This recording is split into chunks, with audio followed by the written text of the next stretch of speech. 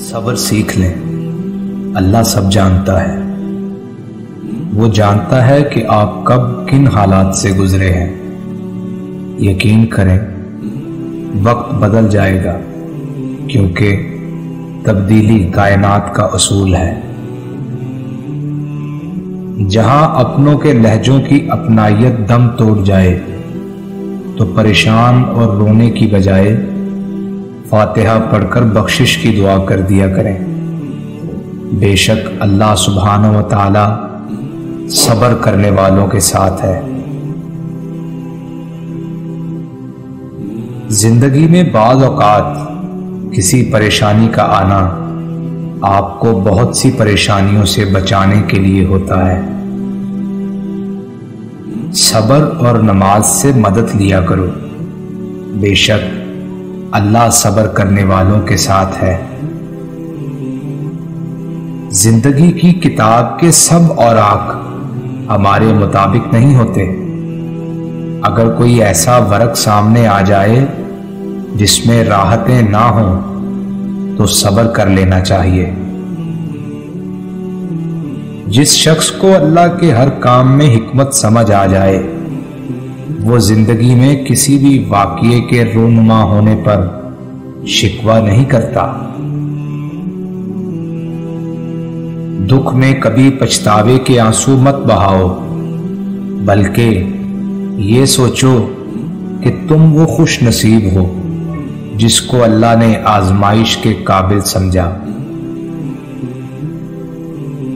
जिस मुकाम पर आकर बर्दाश्त खत्म हो जाती है उसी मुकाम से सबर शुरू होता है।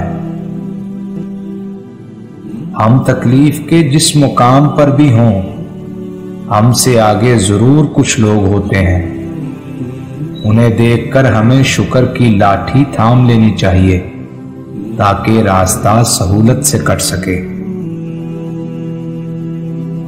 बेशक मुश्किल वक्त बताकर नहीं आता, मगर सिखाकर और समझाकर बहुत कुछ जाता है। इंसान हमेशा तकलीफ़ में ही सीखता है। खुशी में तो पिछले सबक भी भूल जाते हैं। ज़िंदगी किसी की भी आसान नहीं होती। ज़िंदगी को आसान बनाया जाता है। प्यार से, खुलूस से और बर्दाश्त से।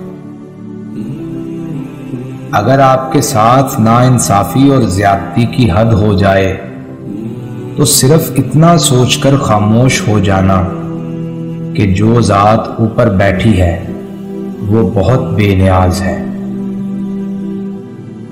सबर, खामोशी और लाताल्लुकी बेहतरीन इंतकाम है।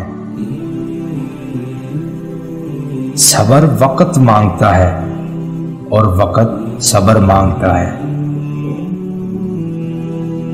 जब तुझ पर कोई ऐसी मुश्किल आ जाए जो तेरे बस से बाहर हो तो सबर कर और अल्लाह की तरफ़ से कुशादगी का इंतज़ार कर।